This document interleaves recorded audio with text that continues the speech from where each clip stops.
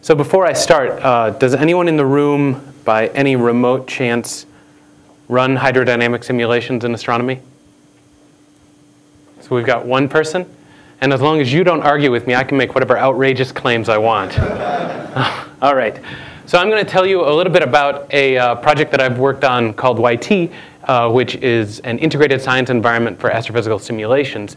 Uh, the image in the background is an astrophysical simulation, uh, one of mine, in fact, of a population three star forming. So I run deeply nested adaptive mesh refinement simulations of uh, the formation of the first stars in the universe. Uh, but that's not really what I wanted to chat about. Uh, I knew that I was going to be speaking before a whole bunch of observers, uh, and so I wanted to sort of sort of position this, uh, there's, there's really only one sky, uh, but we have many, many different simulation codes. Uh, and in fact, you know, the, the idea here is that it's sort of the inverse of the story of the Tower of Babel, in where everyone spoke the same language and tried to build you know, upwards. Uh, we've already built upwards, even though we all speak different languages uh, in the simulation community. Uh, they all have different methods, so methods of discretizing the fluid, methods of solving the gravity, methods of doing subgrid solvers, how do you handle star formation, on and on and on. They have different data structures, such as, you know, some evolve based on a tree, others have octrees, there's patch-based, block-based, on and on. Uh, assumptions about the way that fluid flows, I.O. methods, units, variable names, and so on and so forth. Uh, and so really uh, what we want to do is we want to make a comparison of apples to apples, but for the most part uh, we end up having to make a comparison of apples to pineapples, something that sounds similar but tastes very different. Uh, and so the place where we start inserting these, these accurate comparisons would be at the level of the analysis phase. Uh, and in fact, the, the YT project, and I've put up here an astro-ph link to the method paper, uh, as well as the, the homepage of the, of the of the project itself, and I'm sure by looking at the hit counts, uh, I'll be able to tell whether or not anybody uh, hit that website now, um, which looks something like this. You don't need to go there. Uh, you know, and we have documentation and so on and so forth, is a project that we've designed to try to bridge this gap. Uh, it comes with an install script, uh, so you know it's it's odd that James talked about this earlier, uh, but we do try to deploy on all of the NSF resources as well as home computers and, and desktop machines and so on. And so the install script provides things like the full dependency stack, source code, a full development environment, a GUI, and sample data. Uh, and in response to Professor Bloom's question, we do use virtualenv in here, but we don't use it for the installation process. Uh, but on its basic level, what we've done is we've tried to design YT to address physical entities rather than computational entities.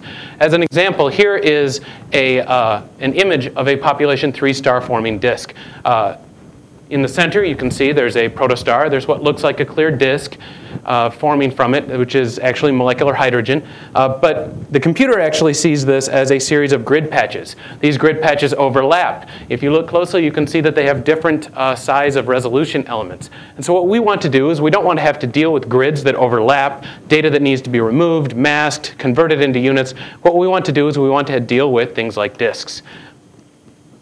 The universe is full of gas, dark matter, and stars, and we try to make it easy to access that material rather than uh, you know, putting up a whole bunch of barriers in terms of I.O. and in terms of uh, you know, other things. Things like, well, the things that I just listed. Uh, one thing that I wanted to emphasize is that uh, you know, we do provide things like geometric selection, but we also provide something like field generation. This is probably very familiar to observers. For instance, uh, my simulations evolve the density of molecular hydrogen. But for the most part, what I'm interested in is the fraction of molecular hydrogen. And so what we do is we provide a transparent mechanism for a fully functional workflow of taking in the quantities on disk and then outputting uh, you know, meaningful quantities that are some, you know, uh, some combination of those fields on disk. In this case, it would be the molecular hydrogen density divided by the total density. We support a number of different codes, including uh, ENZO, which is the code that I do most of my work with, Orion and Castro, which are based on the same underlying library, uh, Flash, and then we also have a number of you know, affiliated codes that don't really, or I'm sorry, not affiliated codes, but second tier codes that we do support, but that, aren't, uh, that don't reach the same level, uh, such as Chombo, Tiger, Athena, Art, Ramses. Um, and it's designed to be a lingua franca, so you can speak to it in the same language, and then you get out uh, meaningful results that can be directly compared. In addition to that, the idea is that there can be direct technology transfer between users of different codes, whereas previously this wasn't possible because they would have a number of different uh, machine logic spread, uh, spread out throughout their algorithmic implementations. So I'm going to, uh, to skip most of the object stuff, but the idea is that we provide geometric objects which are conceptually uh, the same. They're uniform uh, access style NumPy stores uh, things like orthogonal rays and non-orthogonal rays. So you can provide queries between two different locations in your simulation, slices through the domain, oblique slices, projections, spheres, rectangular prisms, and so on and so forth. So the idea is that if you can describe it in terms of geometry or in terms of some sort of quantity that the system can evaluate, you can access it and then uh, on top of that, develop meaningful semantically aware analysis.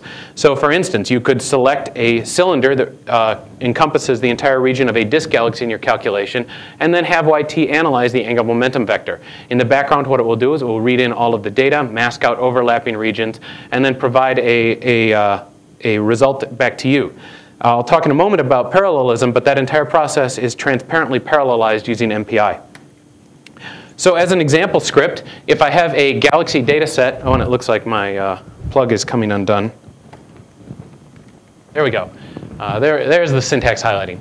So for this is an entire simulation or an entire YT script. We load our data off disk. We create a slice plot of density through the center of the domain along the second axis with 200 kiloparsecs on a side.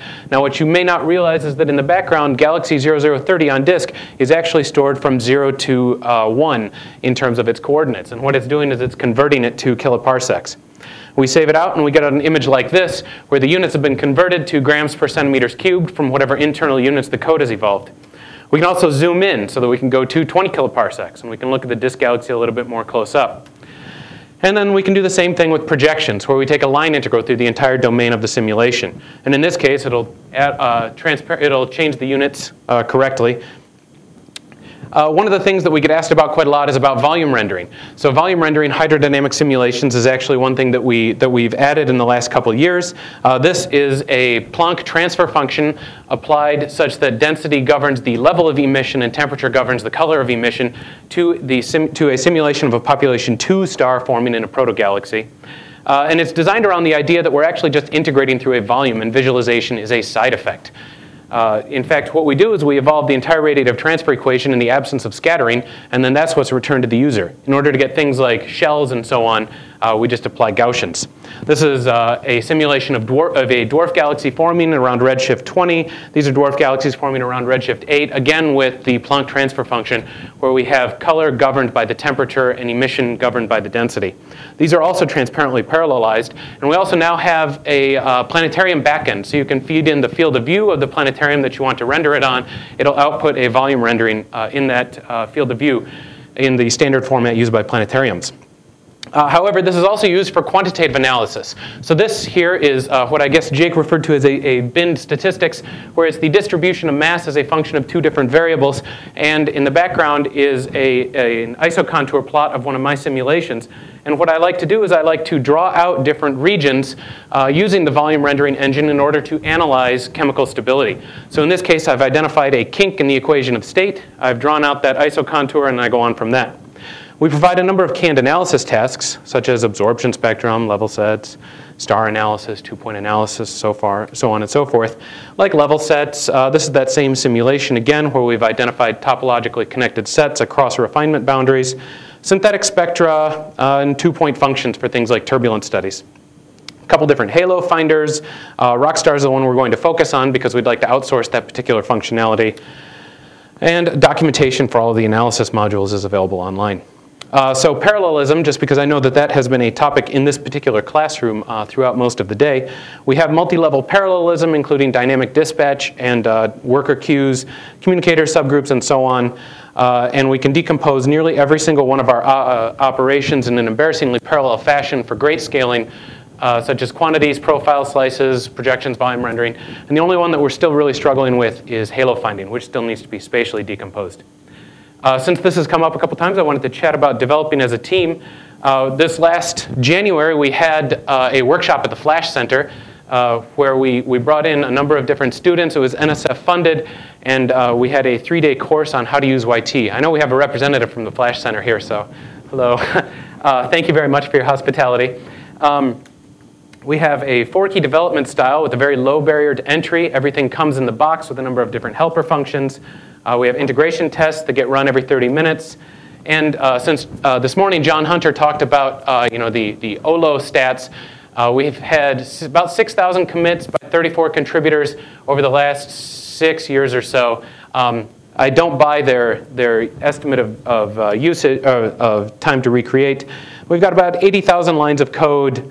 Um, and here's a, a fun, fun stat. This is a punch card. So you can see that at the time this, stat, this punch card was made, YT was mostly developed during the workday. But there are also some outline commits made at, say, Thursday at 5 a.m. and Saturday at 4 a.m. And really need to have a chat with those developers.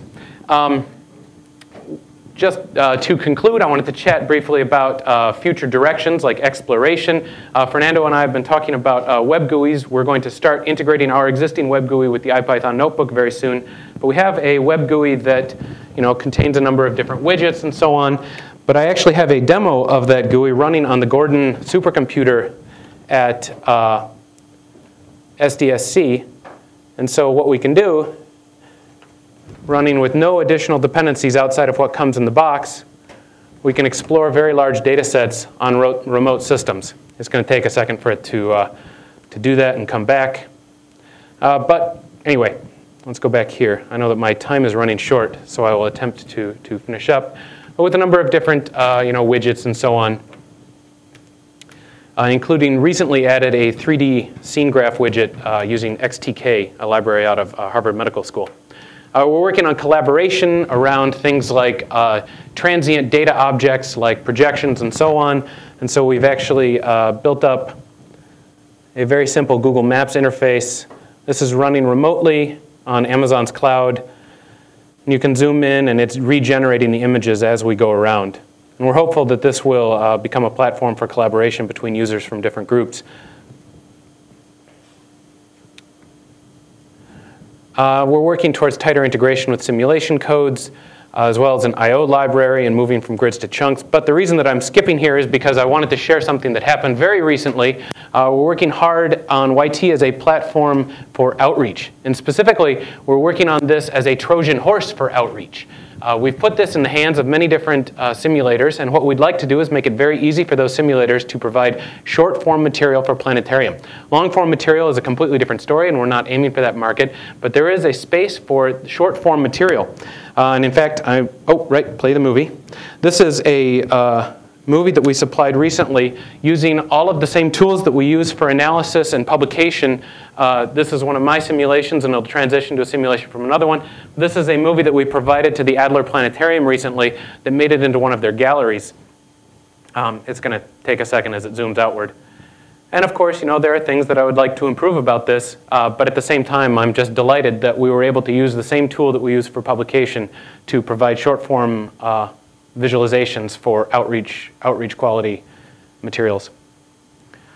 And then it, it pauses for a second, and then we actually see some time series data also visualized uh, with the same toolkit. This is a population three star exploding in a pair instability supernova after it, after it lights up and ionizes its surroundings. These simulations were run with the simulation code ENZO uh, and then visualized later on using YT. And actually, this is uh, by far not the most beautiful thing that I have from this particular simulation. The most beautiful thing, which I'd very much like to show you, is this. This is probably staged by the Adler PR, but I still think it's amazing that uh, they put this photo up of, of two little girls looking at our simulations and hopefully being inspired by science. Uh, so here is a list of the contributors, uh, and I've, I've highlighted in bold those contributors who are either uh, who have either contributed a large portion of code or who may uh, be looking for jobs this fall. Um, and uh, thank you very much for your time.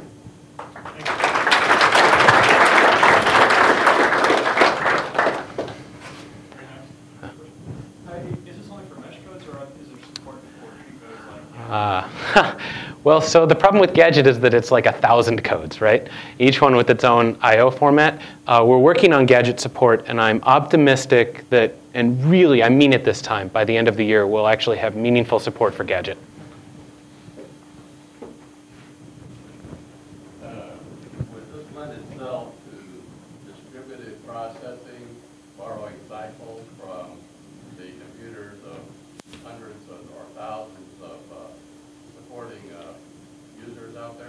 Well, I guess uh, one of the problems that we would run into there is that the latency is very high compared to the number of cycles that we want. We're actually, uh, right now, very interested in low latency communication compared to the number of cycles.